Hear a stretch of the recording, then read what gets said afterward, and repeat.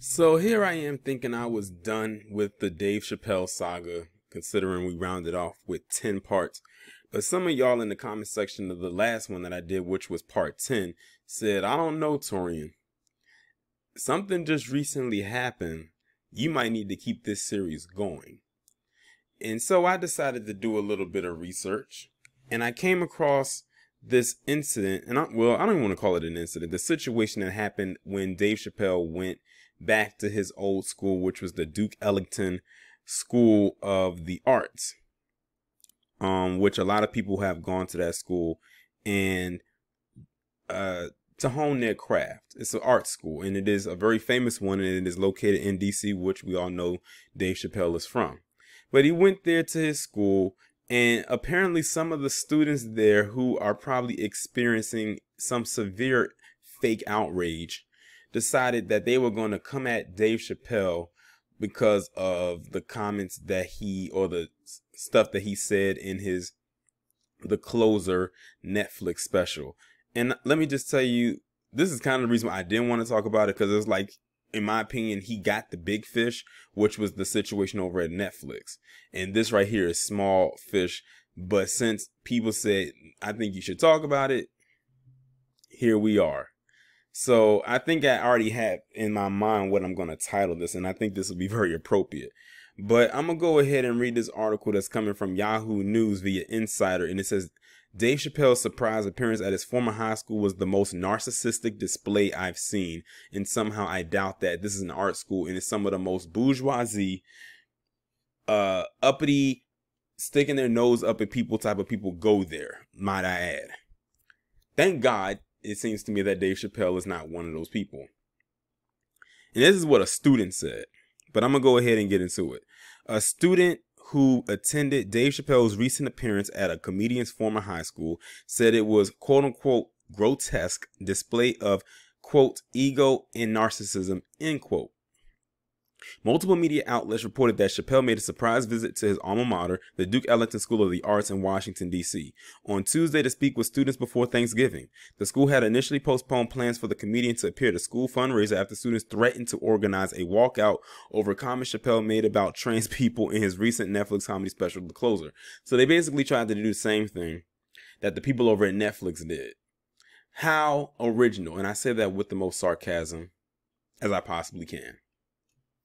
But Allison Finch Wilson, whose 16-year-old son Andrew Wilson attends Duke Ellington, said the parents of the student parents of students at the school received an email Tuesday afternoon informing them that there would be a special assembly, so kids would get let out 30 minutes later than normal. And I'm gonna read what um one of the, the tweet went on to say. It says further regarding Dave Chappelle at at Duke Ellington DC, because this is coming from Twitter. On Tuesday, the below screenshot is all parents knew in advance. When my child called at the conclusion of that train wreck of an assembly, he was blown, shaken, shocked, and appalled by what they all experienced. And this Allison Finch Wilson looks like a uh, a black woman. Andrew told Insider that students were instructed to place their cell phones in pouches as they approached the assembly hall. Now, before I go any further, I know what they were doing. Um, at my place of employment, Dave Chappelle did a special on Tuesday, November 23rd. I did not work the event. Um, but I know some of my coworkers that did. When they mentioned that part about the putting the pouches, the phones in pouches, that part didn't catch me by surprise when I read it because that's the same thing they had to do for the guests who went to this particular event. They even said that they had someone walking around the building in and outside of the zones with this kind of motion detector that detects cell phones. And if it detected a cell phone, whether you were using it or not, then you would get kicked out of the venue.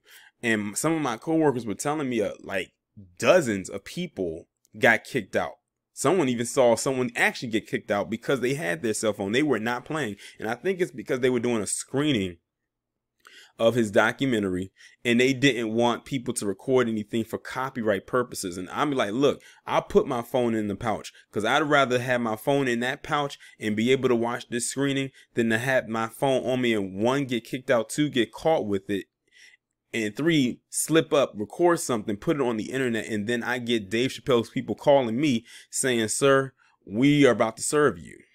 Or they may not call me, they'll just say, hey, we're serving you. I wouldn't want to deal with that. So, like this person said, they were warned in advance. It's not like it was just the, oh my God type of thing. But of course, they're going to overblow this and they're going to blow it out of, um, out of proportion. So when I read that thing about the cell phones being in pouches, I knew exactly where that was coming from. Uh, so shortly after, Chappelle came out on stage and asked any students who were offended by him to raise their hands and approach the stage to voice their grievances. Two transgender people were in line, and one transgender person was trying to explain.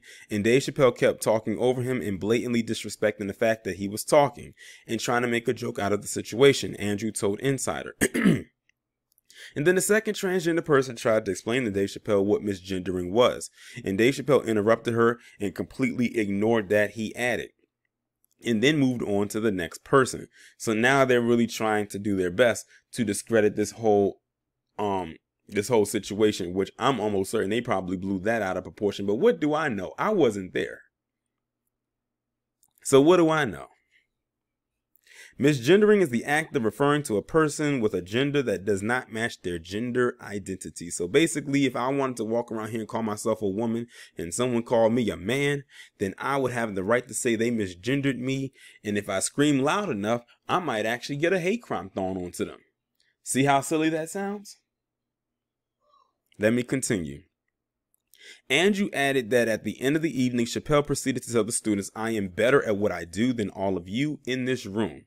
Mind you, these are all words from the students. So we got to take this with just the smallest grain of salt. Meaning, we can't believe everything that they're saying. Remember, Dave Chappelle is public enemy number one for the last couple of months and ongoing. He added it was just a grotesque display of ego and narcissism. Andrew later said that throughout the event, Chappelle, who appeared on stage with film cameras for a documentary, was reluctant to engage with the concerns of the students, but continually told the audience that they can't silence him.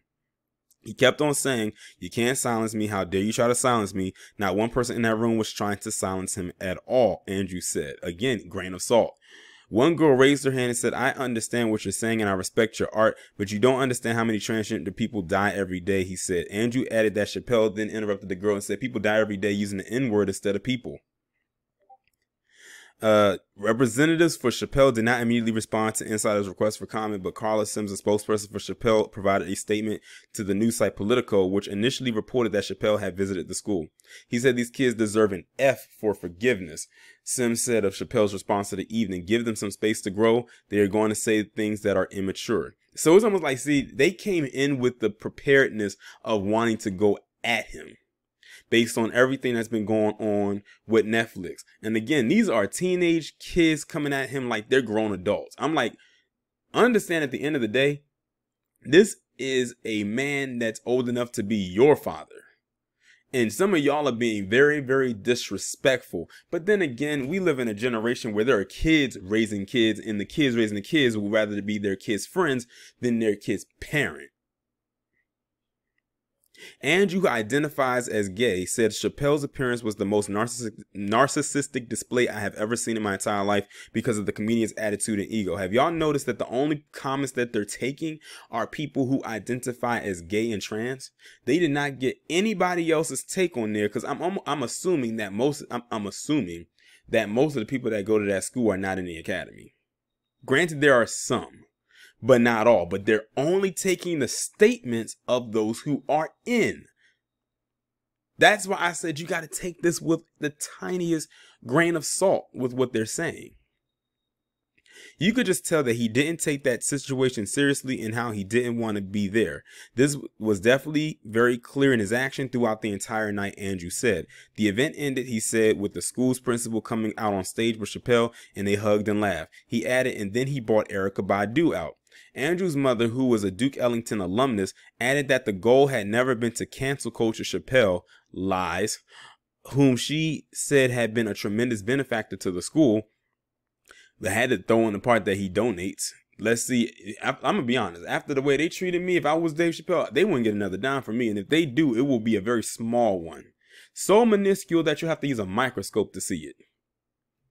But to facilitate an environment where the students can engage with Chappelle without such a wild power dynamics. But here's the thing: was Dave Chappelle supposed to just let them come up there and say anything they wanted to say without him having a rebuttal?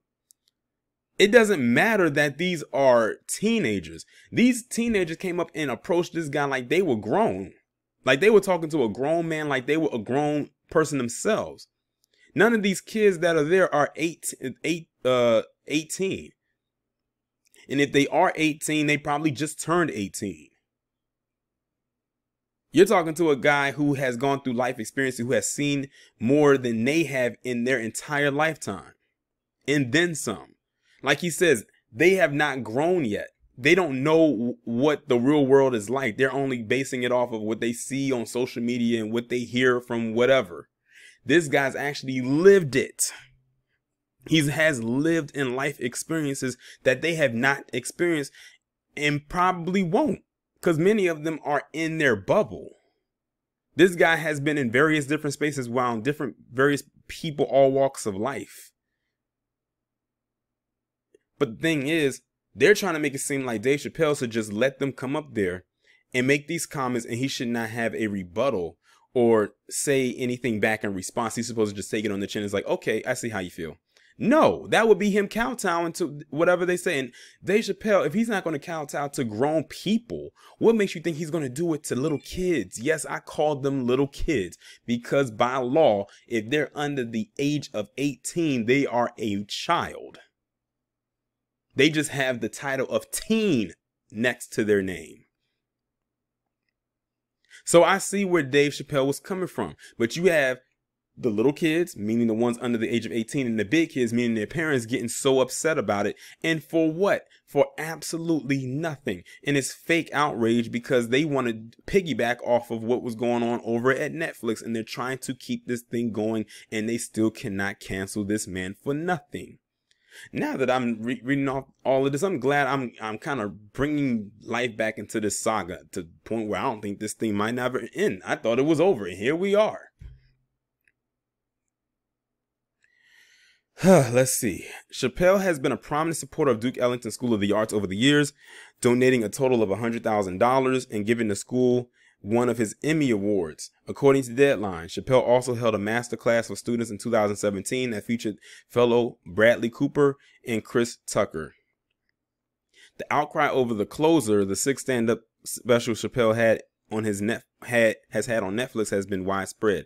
In the special, Chappelle voiced support for the Harry Potter author J.K. Rowling, which I'm sure they probably was very mad about, who has been criticized for anti-trans comments. During a monologue, Chappelle also said that gender is a fact and every human being in this room, every human being on earth had to pass through the legs of a woman to be on earth. And that too is also a fact. That is a scientific and biological fact.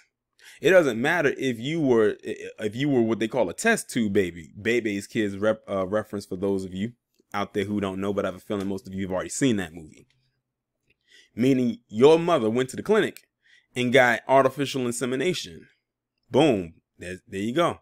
Even through surrogacy, same thing. This is not hatched out of an egg, although some of you out here, I think, were hatched. And I'm not basing it on the way that y'all look, but just some of the way that some of y'all act. But this is ridiculous. At the end of the day, at the core of it all, this is dumb. Like y'all are trying to cancel this man, and they had the nerve to try to say, "Oh, we're not trying to cancel Coach Chappelle." Yes, you are. And you're not even doing it originally. You're piggybacking off of something that has been going on for the last two and a half, three months. It's over. It's done with. Move forward. There's so much more going on in this world than what you what your ears assume they heard and what your brain has allegedly processed. That man did not make any bad comments about people in that community. If anything, they need to be talking about what happened to his friend Daphne Dorman. If you want to be technical, since y'all want to be, oh, he's talking about trans, he's talking about this. Let's talk about what's going on with what happened with Daphne Dorman. That was a tragic story. All Daphne Dorman, who was a trans woman, a person born as a man living as a woman, went to Dave Chappelle to open up for him. Dave Chappelle said that they bombed, and then they came back and they realized how funny Daphne Dorman was. And then people got mad at Dave Chappelle for his Sticks and Stones piece about the trans community, and Daphne Dorman got online and defended Dave Chappelle. And they said for days they went in on Daphne because they had the nerve to stand up and defend Dave Chappelle. Basically, they were saying Daphne got off cold, and then Daphne went up and according to Dave Chappelle, leaped off of the building and killed themselves.